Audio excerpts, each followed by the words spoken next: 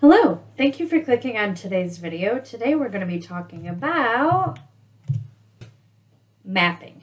So, mapping is an additional way to look at categorical data when there's a geographical component that's included.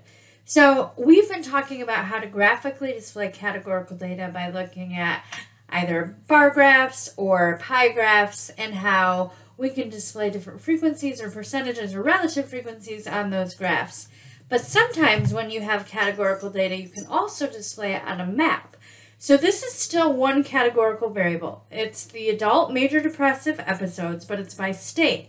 So it still is a percentage. It's still categorical because people are having a yes-no response. But the density of the color is showing you how dense this specific state is with adult major depressive episodes.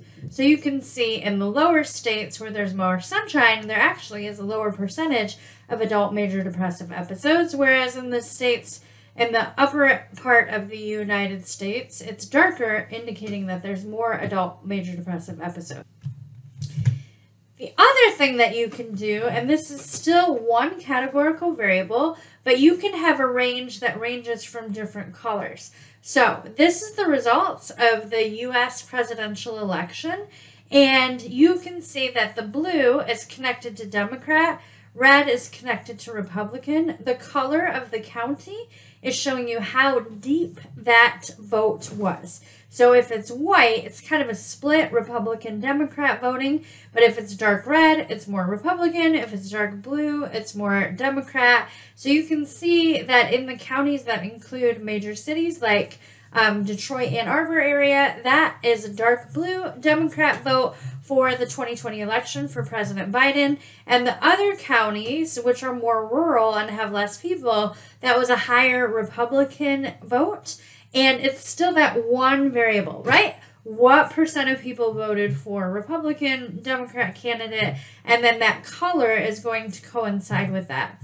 So with categorical data, an additional benefit to having that is if you have geographical information, you're able to give more uh, insight into what's happening because you can also identify where that uh, result or proportion is happening within a different state or within a different county in a state. You can do it for cities, but it's a very valuable aspect of categorical data, and you can do it for quantitative data too.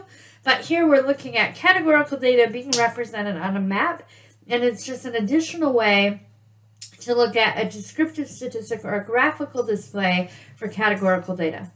Hopefully this is a way for you to see another uh, method of graphing categorical data. See you in future videos.